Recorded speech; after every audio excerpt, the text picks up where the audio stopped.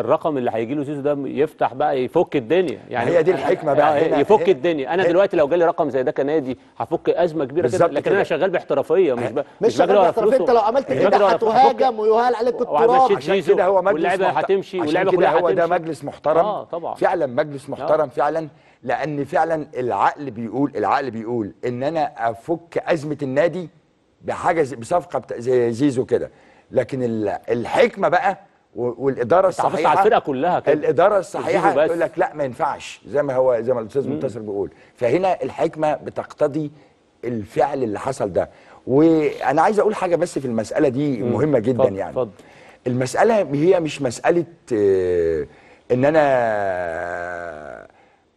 هفرط في لاعب وهاخد فلوس كتير وبعد كده ممكن أجيب صفقات ومش عارف إيه. لكن زي الأستاذ منتصر ما بيقول مسألة في منتهى الأهمية ده أنا لازم أحافظ على القوام الموجود ده. صح. أنا ده شخصية ببني عليها الفريق آه، كله. آه، طبعا. وبالتالي ما ينفعش الحكمة بتقول ما ينفعش إن أنا أفرط وحافظ. عليه كمان لما وصلنا هنا- انسجام هنا- دلوقتي في الفرقة. آه، خلاص هنا- في انسجام هنا طريقه اللعب بقى- اتحفظت. ده بقى خلاص. المجلس الإدارة المحترم. ده بقى نقدر نقول عليه مجلس إدارة محترم. وإدارة بي بي شايفة شغلها مظبوط وعش على عشرة قدامي مشكلة أنا أنا بعاني من أزمة مالية طاحنة وقدامي عرض مغري عرض مغري ولذلك المستشار مرتضى منصور طلع بيان قال اخد آخد لو من آخد من كلمتك حاجة طب ما إحنا لسه مجددين لأحمد الأحمر قبل البطولة العربية مثلا، طب بالظبط إحمد كده. الأحمر برضه نفس ده الكلام الاحمد الأحمر أنت سبته آه. إزاي اسطوره لو الاساطير سبته بقى ده الدنيا تقوم. ما تقعدش أحمد تمام. الأحمر صح تمام كمل يا أستاذ. هنا هنا تلاقي مثلا المستشار مرتضى في البيان اللي طلعه بيقول لك إيه؟ لو وصل مليار جنيه